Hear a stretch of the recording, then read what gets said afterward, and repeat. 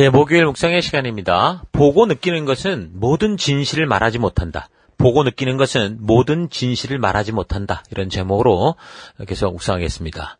저저 우리는 자유지를 지닌 인간들이 만들어내는 이 요지경 같은 세상 속에서 하나님께서 어떻게 인간들의 자유를 침해하지 않으시고 또한 하나님께서 창조하셨던 그 시간의 법칙을 위배하지 않으시며 당신의 뜻을 이루어 가시는가라는 걸 생각해 봤습니다. 우리는 종종 하나님의 이 전능한 능력으로 이 세상이 꼬이고 꼬인, 이 세상에서 꼬이고 꼬인 일들을 순식간에 다 해결해 버릴 것을 기대하며 살아가지만 하나님이 창조하신 시간과 뭐 인격적이며 자유지를 지닌 인간들이 만들어내는 너무도 복잡하여 해결할 수 없는 이 세상의 현실 속에서 하나님은 그런 현실을 그대로 받아들여 주시고 또 하나님이 창조하신 시간과 또 사람들에게 주신 자유지를 통해 그 당신의 마음대로 막 행하는 게 아니라 어, 주님의 그이그 약속을 따라 행하신다라는 걸 잊지 말아야 됩니다. 하나님께서 이렇게 이런 식으로 일하고 계신데 우리 인간이 하나님의 무슨 전능한 힘을 이용해 보겠다 그래가지고서 뭐 정성스러운 기도를 하고 금식하고 단체로 뭐 통성하는 기도를 통해서 하나님을 바꾸려는 거, 하나님 앞에 시위를 해서 하나님의 그런 일들을 하게 하는 거, 이건 옳지 않은 겁니다. 예, 기도하고 하나님의 얼굴을 구하는 거는 성도의 행할 바입니다. 그러나 그런 하나님 앞에서 시위를 통해서 하나님을 뭐 억지로 우리가 원하는 대로 어떤 그이 이 무슨 이 교섭하는 단체가 아니에요. 그런 기도가 아니어야 된다고요. 기도하고 하나님의 얼굴을 구해야 되지만 우리 또한 이런 하나님이 일하시는 창조의 법칙 속에서 벌어지는 이런 현실을 받아들이고 그래서 우리가 무엇을 기도할 것인가를 생각해 보고 그 기꺼이 그 어둡고 복잡한 세상 속에서 영원한 생명으로 나아갈 빛, 그 말씀의 가치를 붙들고 나아가며 그것이 우리를 통해서 이루어질 수, 하나님의 뜻이 우리를 통해 이 땅에서 이루어질 수 있도록 기도해야 되는 거죠. 그게 예수님이 가르쳐 주신 기도 아닙니까? 그러니까 바울도 그런 우리네 현실을 알았기 때문에 죽음을 무릅쓰고 예루살렘으로 가고자 했던 겁니다. 그래서 그가 밝히는 목적은 무엇입니까? 내가 달려갈 길과 주 예수께 받은 사명, 곧 하나님의 은혜의 복음을 증언하는 일을 마치려 하면은 나의 생명조차 조금 더 귀한 것으로 여기지 않는다. 그렇게 얘기를 하는 거죠. 그러니까 복음을 증언하는 일을 위해서 예루살렘으로 가고자 했던 거 우리가 분명히 알 수 있죠. 그래서 이 복음을 전해서 유대인들이 회개하고 돌아올 가능성은 없었지만 하나님께 부름받은 자들, 주 예수께 부탁받은 증인의 삶을 아는 이들은 저들의 변화를 위해서가 아니라 뭐 내가 전하는 데서 뭐 그 땅이 뒤집어지고 이 교회가 뒤집어지고 부흥 집회를 통해서 몰라당 뒤집어지고 이런 거를 위해서가 아니라 이것이 하나님께서 내게 주신 사명이고 하라 하신 일이기에 순종하기 위해서 그래서 하나님의 진실한 뜻을 전달하기 위해서 그 죽음을 쓴 그런 죽음을 무릅쓴 사명의 현장으로 가는 것. 그게 바울이 우리를 통해 보여주는 성도의 자세인 거예요. 그래서 이제 비록 유대인들에게 결국 잡혀서 로마 군인들에게까지 결박되었지만 이 바울은 그가 사랑하는 이 동족, 이 유대인 군중들에게 결국 복음을 외친 거예요. 그래서 그를 죽이고자 하는 사내들인 이 공회에서도 복음을 외쳤고 더불어 없는 기회가 주어지는 대로 외쳤어요, 무조건. 그 로마의 천부장에게도 말하고, 벨릭스 총독, 베스도 총독, 아그리파 왕에게까지. 그는 기회가 될 때마다 하나님 신 사명, 주 예수께 받은 사명, 하나님의 은혜의 복음을 다 외친 셈이죠. 그러니까 하나님이 전하시고자 했던 하나님의 진정한 뜻을 그 유대인 모두, 그 이 유대인 이 핵심 단체 모두에게, 유대인들에게 또 심지어 로마의 정부에게 또 헤롯 일가에게 아무튼 이 세상 모두에게 다 이미 말한 거예요. 그게 복음 증거예요. 이게 증인된 사명이라는 거죠. 자, 그리고 이제 그는 이미 선포하고 외쳤으나 더 이상 설득과 선포로 되지 않을 이 예루살렘을 떠나게 됩니다. 그래서 로마의 황제에게 이 사건을 심판받기 원하면서 이제 노아를, 노, 로마를 향해 가는데 이제 그렇게 보면 이미 말씀드린 것처럼 3차 전도 여행을 마치고 예루살렘에 왔고 잡힌 지 결국 2년이 넘어서 이제 로마를 향해 가는 그 길이 열린 겁니다. 그러니까 바울은 하나님의 약속을 받고도 2년이라는 긴 시간 동안 그것도 다른 데가 아니라 감옥에 갇혀 있었지만 그 기간 동안 그는 불평하고 불만을 토로하지 않았고 오히려 그 감옥 안에서 기회를 얻든지 못 얻든지 복음을 전하는 그런 그런 삶을 삶으로 말미암아 결국 어, 계속해서 이, 이 예루살렘 지역에 영향력을 미쳤고 그래서 베스도라는 총독이 왔을 때 유대인들이 또 이 사람을 통해 죽이려 했지만 오히려 그것이 로마로 가는 길을 열게 된 거죠. 그러니까 바울이 어떤 삶을 사는 거예요. 끝까지 믿음으로 사는 삶. 바로 남은 자의 삶을 산 거예요. 이런 모습으로 사는 사람을 하나님이 찾으시고 함께 사명의 길을 걸을 수 있는 남은 자라고 말씀하시는 겁니다. 뭐 누구 누구 누구는 남아 이렇게 택한 게 아니에요. 믿음으로 우리가 아, 하나님으로부터 들은 이 말씀대로 어, 우리가 믿고 끝까지 그 길을 따라가는 자. 그게 남은 자라는 거예요. 오늘날 우리가 살아가는 현실 속에서 그럼 우리는 어떻게 남은 자로 살아갈 수 있겠습니까? 이 교회 속에서 어떻게 우리가 남은 자가 될 수 있겠습니까? 바로 이 사명, 우리에게 주신 이 생명을 낳는 생명을 세우는 사명, 이거를 붙들고 우리의 셀 속에서 우리에게 주신 영혼들에서 함께 울고, 함께 붙들고, 포기하지 않는 삶을 살아가는 것. 그게 남은 자로서의 삶인 거죠. 우리는 이 시대를 살아가면서 바울과 같이 뭐 육체적으로 폭력을 당하고 뭐 감옥에 물리적으로 잡히는 그런 그렇게 제한은 없지만 우리 주변의 사람들이 살아가는 이런 사람들이 가진 좋은 것을 보면서 부러워하고 막 그들처럼 누리고 싶고 뭐 그들 그들보다 더 많은 것을 가지려는 그런 자기의 욕심에 갇혀 욕심의 감옥에 갇혀 살아가는 경우가 많습니다. 그래서 조금 더 좋은 기회를 얻으려고 항상 우리가 부름받은 자로서 살아갈 사명은 늘 뒤로 미루고 뭐 이것 때문에 바쁘고 저것 때문에 바쁘고 사업 때문에 바쁘고 일 때문에 바쁘고 매 미루고 미루다가 나중에는 증인으로 우리가 부름을 받았는데 그런 사명은 교회와 목사가 해야지 이런 식으로 떠넘겨버리고 착각하는 상황까지 빠지게 되는 겁니다. 근데도 마음은 찝찝하고 성령이 말씀하시는 음성이 들리니까 헌금 대신 갖다 바치고 주일 예배는 빠지지 않을게요. 이래 가면서 스스로 그냥 스스로 심리를 안정하고 위로하면서 속이면서 그렇게 살아가고 있는 경우가 많죠. 여러분 이건 진정한 성도의 모습이 아닙니다. 성도는 우리에게 어떤 상황과 환경이 다가와도 그 상황과 환경 속에서 우리가 해야 되는 이 하나님께 맡은 사명을 최선을 다해 해나가면서 또한 우리가 그런 상황 환경 속에 존재하는 그 증인된 사명, 열방의 제사장다운 삶을 살아가야 되는 거예요. 끝까지 우리에게 주신 이 사명을 포기하지 않고 우리 어떤 삶 속에서도 이 사명을 위해 바울처럼 나아가는 것이 오늘 이 시대 성도의 사명이고 그런 길을 걷는 자들을 남은 자다라고 하는 겁니다. 자, 이런 사실 잊지 마시고 어, 진정으로 하나님이 함께 하실 수 있는 남은 자의 삶, 증인이여 빛과 소금된 삶을 살아가는 우리가 되십시다. 자, 그래서 이제 27장은 이제 바울이 가이사 황제의 재판을 받기 위해 로마로 가는 여정이 시작되는 걸 보여줍니다. 27장 1절. 우리가 배를 타고 이탈리아로 가기로 작정됨에 바울과 다른 죄수 몇 사람을 아구스테, 아구스토데의 백부장 율리오라는 사람에게 맡기니 아시아 해변 각처로 가려 하는 아드라무테노베에 우리가 올라 항해할세 마케도니아의 사람 마케도니아의 데살로니가 사람 아리스다고도 함께하니라.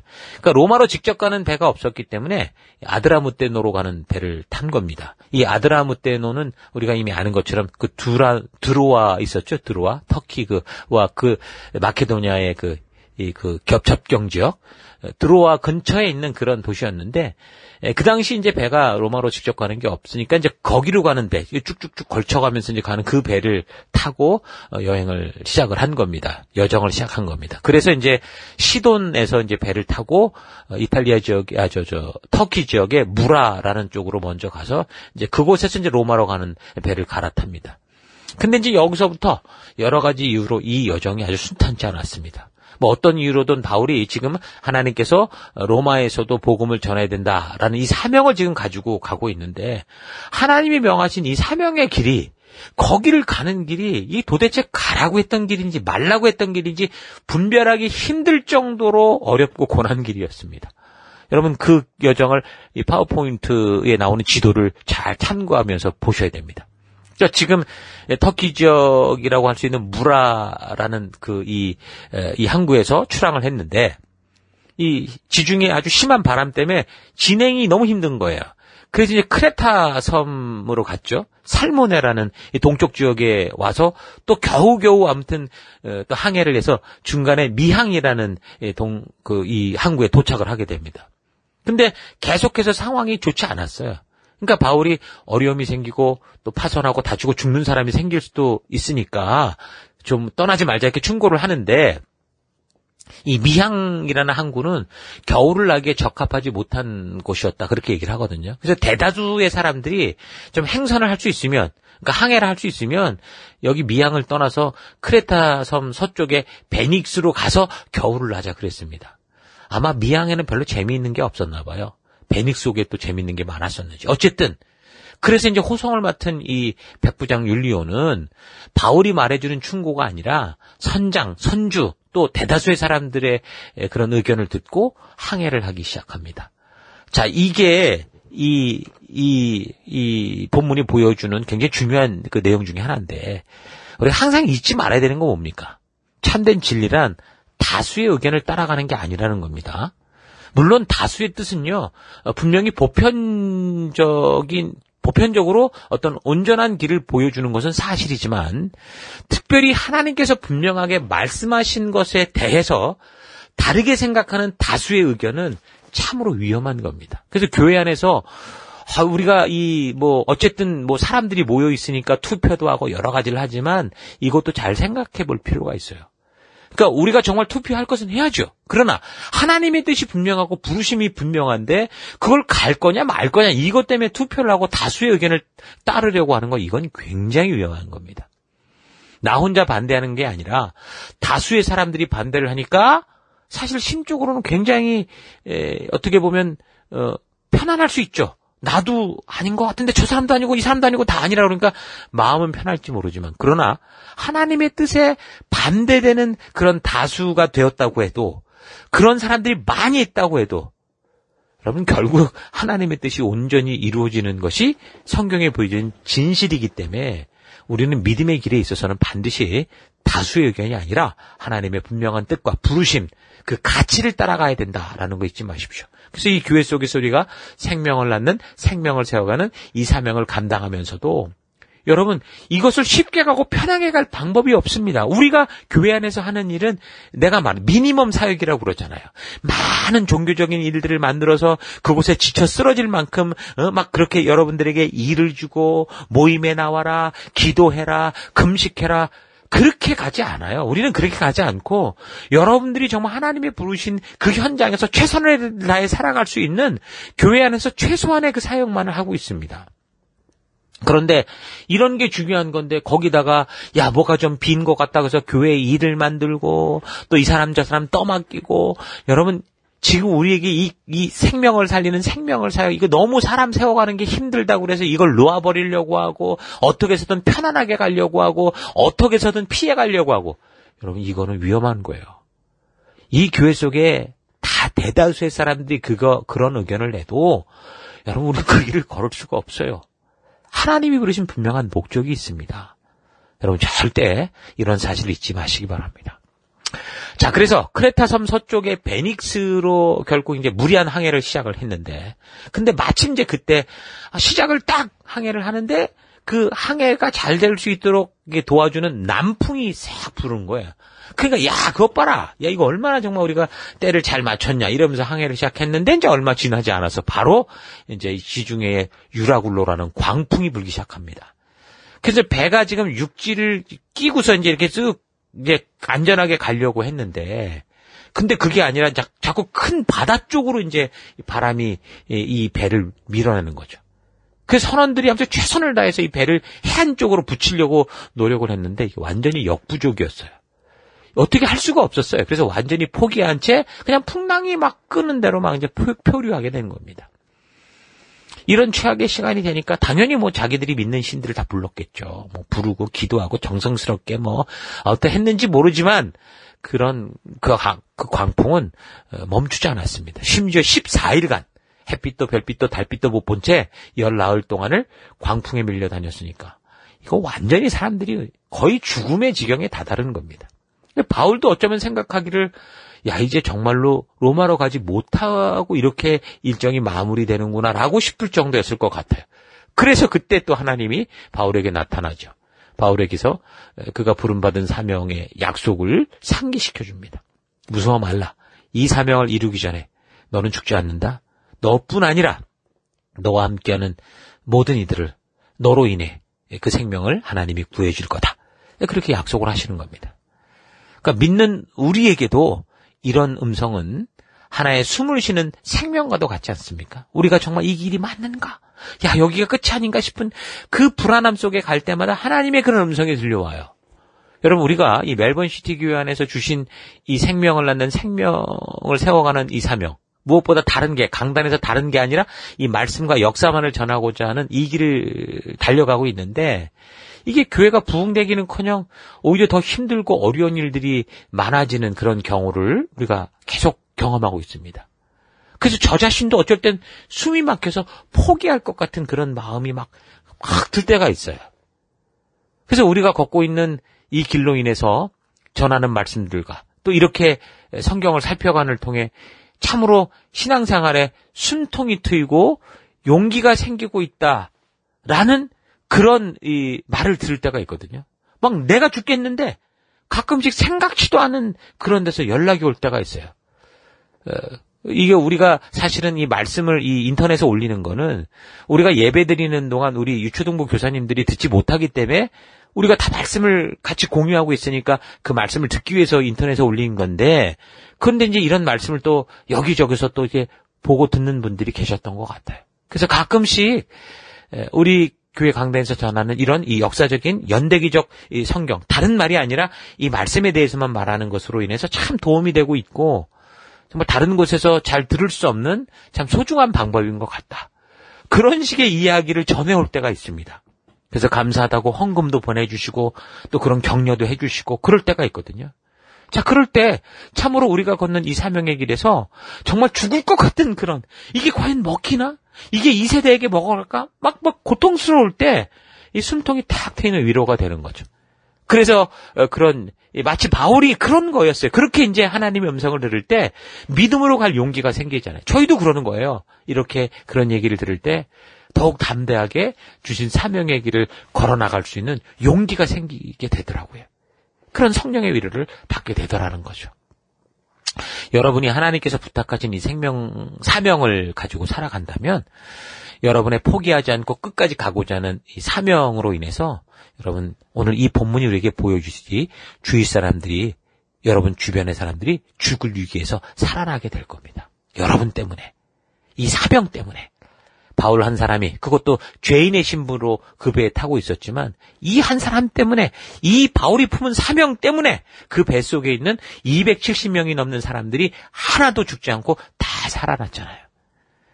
여러분 우리가 이 사명의 길에 목숨을 걸고 걷는다면 하나님께서 이 바울에게도 행하셨던 것처럼 오늘 우리에게도 그런 위기의 때마다 먼저 찾아와 주시고 위로해 주시고 또 힘 주시는 그런 일들 우리가 만나게 될 겁니다. 우리 교회가 하는 이 길 속에 먼 곳에서 이렇게 연락을 주시고 도움을 주시는 분들을 통해 우리가 숨통이 트이고 믿음으로 가는 하나님의 그 이야기. 어, 멜번시티 교회 성도들아, 이, 이, 걱정하지 마라. 이 길 속에 내가 너와 함께한다. 너희는 이 사명을 분명히 이 세상 끝까지 전해야 된다. 그런 하나님의 음성을 우리가 듣게 되는 거 아닙니까? 힘내십시다. 그래서 27장 23절 내가 속한 바 곧 내가 섬기는 하나님의 사자가 어젯밤에 내 곁에 서서 말하되 바울이 이제 그 말씀을 듣고 이제 간증을 하는 거죠. 그러면서 오히려 격려합니다. 바울아 두려워하지 말라. 네가 가이사 앞에 서야겠고 또 하나님께서 너와 함께 항해하는 자들을 다 너에게 주셨다 하였으니 그러니까 죽음의 위기 속에서 예수님은 너만 열애시켜줄게. 너 사명을 갖고 있으니까 너만 살려낼게. 그렇게 하지 않았고 네가 붙든 사명이 완수되기까지 너는 결코 죽지 않는다. 또한 더불어서 너의 사명으로 인해 너와 같은 길을 가는 이 자들도 구원을 아 어, 지켜줄 거다. 그 목숨을 지켜줄 거다. 그렇게 약속을 하시는 겁니다. 여러분 우리에게 주어진 사명 잊지 마시고 이 생명을 낳는 생명의 사명을 감당하는 특별히 리더들 그 현장에서 애쓰고 수고하고 섬기고 눈물로 기도하고 먹이고 입히고 했는데 나중에 이상한 소리 들을 때도 있죠. 여러분 그런 것에 마음은 상할 수 있지만 일희일비하지 마십시다. 우리가 걷는 길은 그들에게 칭찬받기 위해서 그들에게 감사를 받기 위해서 걷는 길이 아니라 우리 주께서 주신 사명 때문에 이 하나님의 은혜에 감격한 이 놀라운 복음 때문에 걷는 거다. 라는 거 잊지 마시고 그 길을 우리가 꾸준히 걸어내는 여러분들 수 있기를 축원합니다. 자, 그래서 이제 바울이 그 약속을 믿고 오히려 사람들을 위로하고 격려하죠. 내가 이런 지경에 뭘 잘못 들은 건 아닐까? 그렇게 의심하지 않았어요. 풍랑이라도 좀 잠잠하고 나서 뭐 하나님이 그렇게 얘기를 하면 어, 좀뭐 내가 좀 알겠는데 지금 계속 폭풍이 치고 난리가 나는데 그런데 이 2주 동안 그게 그냥 멈추지도 않았고 뭐 2주 동안 바울이 가만히 있었겠습니까? 뭐 주여 불러가면서 어쩌면 이걸 멈춰달라고 했을지 모르죠. 그렇게 기도했겠죠. 그런데 여전히 그 광풍의 기세가 아주 등등해서 전부 삶을 포기하는 지경까지 온 그곳에서 지금 상황은 하나도 변함이 없는데 하나님은 바울에게 그 약속을 해주셨고 또 놀랍게도 바울은 그 상황이 하나도 바뀌지 않은 그 최악의 상황에서 하나님의 약속을 믿고 감사하면서 자신 있게 주변에 지치고 두려워하는 사람들을 세우기 시작합니다. 그래서 25절. 여러분들이 안심하라. 나는 나에게 말씀하신 하나님 말씀 그대로 되리라고 그것을 믿는다. 이렇게 말하는 거죠. 여러분, 우리도 살다 보면 정말 살 소망이 다 끊어질 것 같은 그런 최악의 환경과 상황을 만나는 때가 있을 겁니다. 그때는 정말 괴롭고 힘들고 마음이 심히 상하고 절망스럽고 포기하고 싶겠죠. 그러나 그럴 때 이 말씀, 이 사건을 잘 깊이 음, 기억하십시다.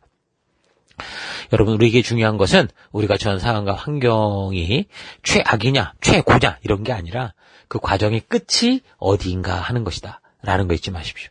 그 길이 하나님께서 약속하시고 인도하시는 사명의 길이냐 하는 것을 분별하는 게 중요해요. 우리는 뭐 좁은 민, 좁으면 좁은 길로 가라고 그러는데 사이즈가 작은 데로 가라는 게 아니라 그게 좁은 길이든 넓은 길이든 좁은 문이든 넓은 문이든 하나님의 그 약속과 하나님이 가라 하신 그 길이냐라는 게 중요한 겁니다.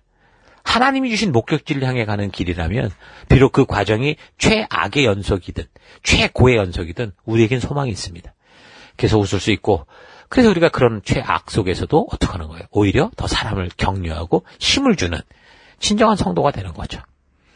자, 그래서 27장 33절, 날이 새어감에 바울이 여러 사람에게 음식 먹기를 권하여 이르되, 너희가 기다리고 기다리며 먹지 못하고 줄인 지가 오늘까지 열나흘, 14일인 즉, 음식 먹기를 권하노니 이것이 너희의 구원을 위하는 것이요. 너희 중 머리카락 하나도 잃을 자가 없으리라. 그 하나님의 말씀을 붙들고 그 약속을 믿으면 이렇게 담대할 수 있는 겁니다. 우리가 하나님의 약속을 할 때 이렇게 외쳐야 된다라는 거죠. 그래서 우리가 믿을 것은 우리 눈에 보이는 상황과 환경이 아니라 우리 느낌이 아니라 바로 하나님의 약속인 겁니다. 하나님은 신실하고 변함이 없으신 분이라는 이 사실을 믿고 그 하나님이 약속하신 그 약속 위에 굳게 서십시오. 괜히 뭐 무슨 음성 듣겠다고 뭐 여기저기 찾아다니고 아무데나 머리 들이밀고 그런 게 아니고 헤매지 말고 이 말씀, 하나님의 약속이 있고 하나님의 뜻이 있는 이 말씀 붙들고 그 언약 위에 굳게 서는 여러분 되길 바랍니다. 나는 지금 어떤 삶의 태도를 가지고 살아가고 있는가? 믿음의 자녀의 사명을 가진 존재임을 아는 나의 삶의 태도, 나의 말은 지금 어떤가? 자신의 태도를 좀 잘 되돌아보시고 늘 신실하신 하나님의 약속 위에 서고 그 약속을 믿는 믿음 가운데 살아가는 여러분들 수 있기를 바랍니다. 자, 오늘 하루 나의 믿음은 보이지 않으나 하나님의 약속에 근거해 있는지 아니면 늘 눈에 보이고 느끼는 것에 치중되어 있는지 좀 차분히 되돌아보십시다. 바울에게 보이고 느끼는 것이 만약에 믿음의 온도계였고 기준이었다면 아마도 그는 그에게 다가온 너무도 어려운 상황과 환경의 연속으로 인해서 뭐 이미 자살하거나 또는 하나님을 철저히 저주하고 원망하며 배신의 삶을 살았을 겁니다. 그만큼 바울이 보고 만난 상황, 만났던 상황은 너무도 고통스럽고 온 민족이 다 바울을 죽이고자 하는 두려움들이었었습니다. 그러나 바울은 그 보고 느끼는 것으로 모든 것을 판단하지 않았고 하나님의 약속을 따라 나아갔습니다. 여러분 믿음은 보이고 느끼는 것에 있지 않습니다. 믿음은 하나님께서 말씀하신 것을 그대로 믿고 어, 지금 나의 눈앞에 아무 증거 보이지 않아도 그 약속을 따라 걷는 것이 믿음입니다. 사람들은 누구나 믿음을 가지고 살아갑니다. 아마 이 지구상에 믿음 없이 사는 사람들은 아무도 없을 겁니다. 각자가 무엇을 믿고 살아가든지 사람들은 분명히 믿음을 가지고 살아가고 있어요. 믿음을 가지고 있기 때문에 그 높은 건물 빌딩에도 쑥쑥 들어가는 거예요. 그럼, 그럼 뭐예요? 결국 무엇을 믿는가 하는 게 중요한 거죠. 믿는다는 것보다 더 중요한 것은 무엇을 믿느냐라는 거예요. 우리가 믿음을 가지고 살아간다고 할 때 믿습니다. 믿습니다. 뭐 툭하면 뭐 믿는 사, 저 교회 안에 사람들 믿습니다 이런 얘기 말하는데 믿습니다보다 더 중요한 거는 무엇을 믿고 있느냐. 뭘 믿고 있습니까라는 그 믿음. 그게 더 중요하다라는 거죠. 우리가 믿음을 가지고 사는 것보다 무엇을 믿고 사느냐가 아주 중요한 겁니다. 각자가 자기의 믿음을 가지고 살아가는 이 세대 속에서 오직 하나님의 말씀이 진리임을 믿고 살아가는 것을 기독교에서 성경에서 믿음으로 산다라고 말하는 겁니다.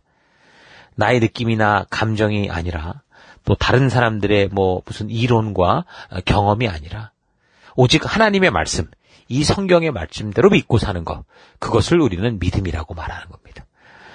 자, 바울이 그래서 자신의 느낌이나 보이는 것이 아니라 하나님의 말씀만을 믿었기에 그 고통과 연단의 순간순간마다 무너지지 않고 끝까지 달려갈 길을 다 달려가는 사도가 된 것처럼 우리도 우리 삶의 현장에서 오직 약속과 말씀을 믿음으로 그렇게 살아가는 그런 삶이 될 수 있기를 주 여러분으로 축원합니다. 저는 하루도 힘내십시오. 잠시 기도하겠습니다. 하나님, 우리는 보이는 세계 속에 살고 있으나 보이는 이 모든 것이 보이지 않는 하나님으로 말미암은 것이라는 이 사실을 믿고 살아가는 믿음의 길을 걷는다라고 하면서도 늘 보이는 것에 얽매이고 느끼는 것에 목숨 걸고 살아왔던 것을 회개합니다. 내가 믿고 싶은 것을 믿고 살아가는 존재가 아니라 우리 주님께서 말씀하신 것을 믿음으로 살아가는 내가 되기 원합니다. 바울의 현장은 너무도 외롭고 두려웠으나 그가 믿음을 가지고 살아간 것처럼 나도 나의 삶의 현장에서 믿음 따라 말씀 따라서만 살아가는 그런 삶 되기 원합니다. 우리가 보고 느끼는 것이 모든 진실을 말해 주는 것이 아니다라는 거 잊지 않고 하나님의 말씀만이 참된 진리를 우리에게 말해 준다라는 이 사실을 믿고 오늘 하루도 그 길을 걷는 내가 되길 원합니다. 감사드리고 예수님 이름으로 기도했습니다. 아멘.